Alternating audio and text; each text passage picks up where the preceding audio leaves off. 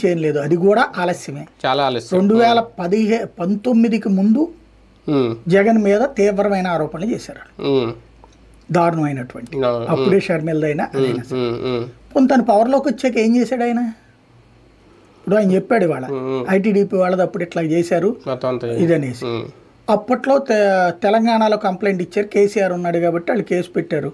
పోనీ ఏమన్నా నిలబడింది అది? అసలు దాని ఫాలో అప్ అన్న చూసాడు ఆయన? లేదు కదా. పోనీ ఇవాళ చూడండి ఎక్కడెక్కడ సోషల్ మీడియా వాళ్ళని పట్టుకొచ్చి కేసులు పెడుతున్నారు కదా? తను మరి తన చెల్లిని గురించి ఇట్లా చేసిన వాళ్ళు ఏం చేశాడు ఆయన? లేదా తన హయాంలో ఆ గీతాంజలి అనే అమ్మాయి చచ్చిపోవడానికి కారణమైనటువంటి దారుణమైనటువంటి వ్యాఖ్యలు ఏం జరిగిందని? భారతి గురించి ఎన్ని పెట్టినటువంటివి ఉన్నాయి. ఏం చేశాడని? ఉమ్, ఒకటే ఏంటంటే జగన్ కానీ చంద్రబాబు కానీ రెండు వేల పద్నాలుగు పంతొమ్మిదిలో వీళ్ళు ప్రోత్సహిస్తూనే ఉంటారండి. కాస్తో కోస్తో వీళ్ళిద్దరితో పోల్చుకుంటే జనసేన వాళ్ళు బెటర్ వాళ్ళలో వ్యక్తులు తప్పు చేస్తున్నారు కానీ ఆర్గనైజ్డ్గా శతగ్ని వాళ్ళు ఇట్లాంటి బూత్ పోస్టులు పెట్టట్లేదు అంటే మార్ఫింగ్ ఫోటోల్లో ఇట్లాగ వ్యక్తిత్వ హననానికి అంటే వ్యక్తిగతంగా డైరెక్ట్గా మహిళల జోలికి పోవట్లేదు. వాళ్ళ వరకు.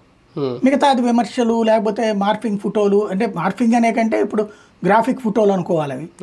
అవి క్రియేట్ చేస్తున్నారు అంతవరకు ఉంది. అది తప్పు కానీ ఒకప్పుడు మనకి దాన్ని తప్పు అన